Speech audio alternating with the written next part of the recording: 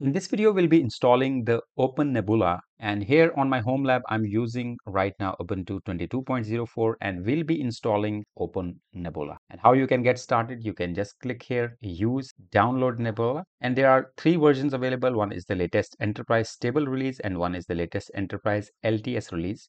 And then you have the community latest release available here. This was updated on 2nd of September 2024, uh, 6.10. You can of course see the guide also, release note also, what's new in 6.10, all of the options are there, but we'll be following the Open Nebula documentation. In case you are using AWS, so you can use the uh, Open Nebula on the front end AWS. These are the options which are available to you. But we'll be installing, deploying on Edge cluster so if you want to deploy on edge cluster, you can do that.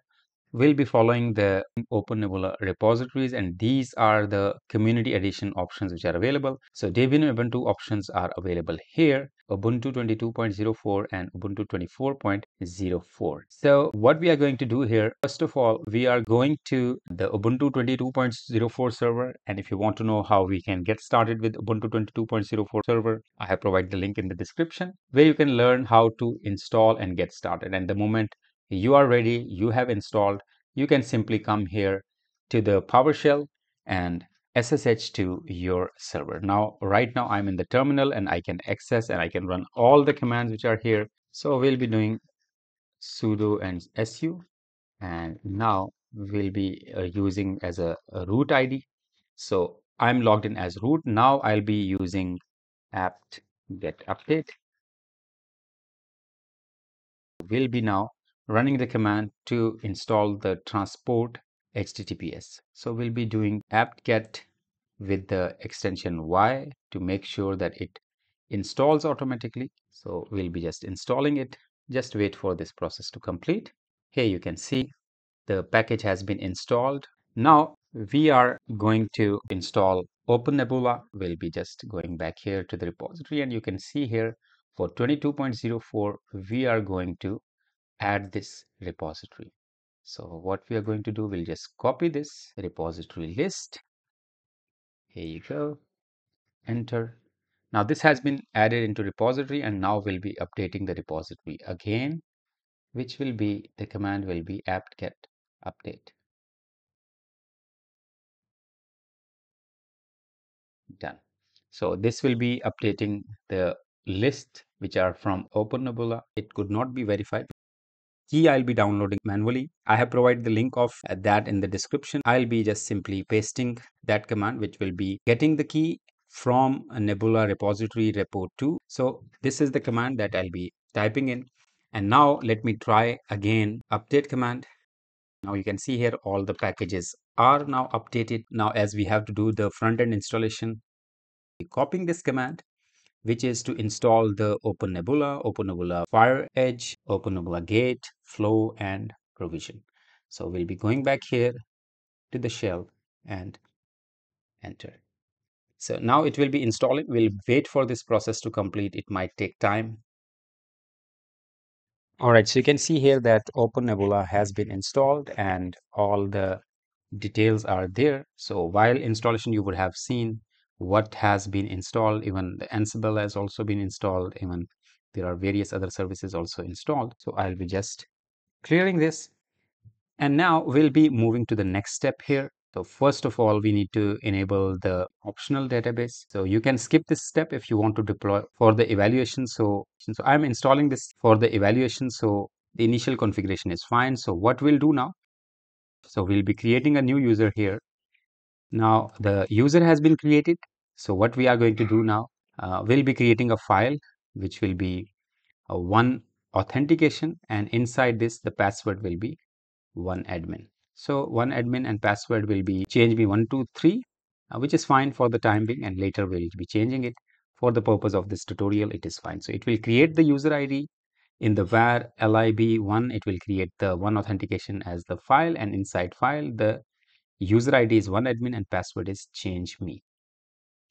All right, so this has been done. Now we have to configure one gate server. One gate server will allow the communication between VMs and Open Nebula. It's optional right now and it's not required if you are using the basic functionality. For the production server, I'll be explaining you how we can do that. And OneFlow, this is also optional. So OneFlow will help for the remote API and so on. Now, finally, we have to start and manage Open Nebula services. So we will start these services now by running these commands. So which will be systemctl start and it will start Open Nebula, Open Nebula FireEdge and these services that we have just installed.